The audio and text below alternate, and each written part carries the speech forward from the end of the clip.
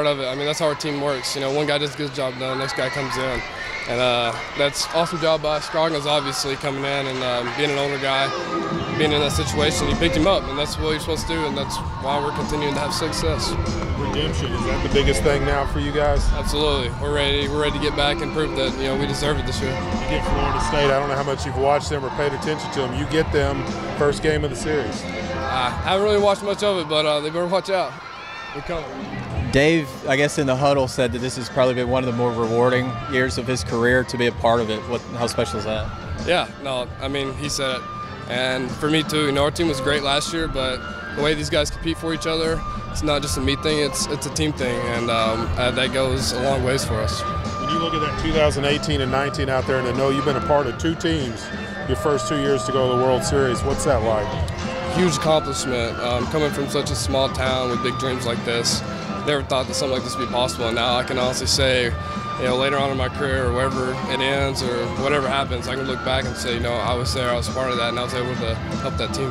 How big were those first two games for you just kind of getting going again offensively? Gave me a lot of confidence, honestly, moving up and um, in our season, obviously. And, you know, I was just happy to get the offer out of the way, and now I can just go out there and have fun. What did you think of uh, Opitz today? Three hits, four RBIs in the seventh spot. We were talking about it. It's just a matter of time for him and Heston clicked, and look at him. I mean, dude just clicked, and man, that's just awesome to see from him. He's, he's been grinding all year. I know he's been kind of struggling a little bit lately, but you know that, that's a part of it. And just proud of him. Keep his head up and uh, just keep grinding. How big of a piece is he to this team? He's kind of, I guess he kind of seems like a heartbeat because he, you know, he can knock in runs, but he's also kind of in charge of the pitching staff too. Yeah, no, that's awesome. He's just just a leader, and that's what we need. Casey, we came in a little bit late here, but describe the emotion that hit you right there. It's just speechless. Um, after a year like last year, you know, and losing everybody we had, we just thought that it might have been over. And I know there's a lot of doubts and a lot of fans, but um, man, this team is something different. And you know, I'm just happy I was able to be a part of it. And these guys, they they worked their tails off all year, and I'm just super proud of them. And you know, they'll continue to do that until their career is over. Is that what hit you right there to be in tears like that? Yeah, absolutely. I mean, it's, it's just awesome. You know, that's it's not a I thing. Um, nothing on this field with these guys is about themselves. It's always about one another.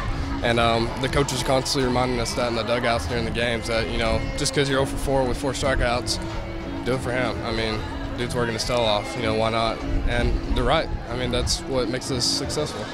Now that you're there, does vengeance for what happened last year creep into your mind? Oh, yeah, absolutely. We're ready to go all the way.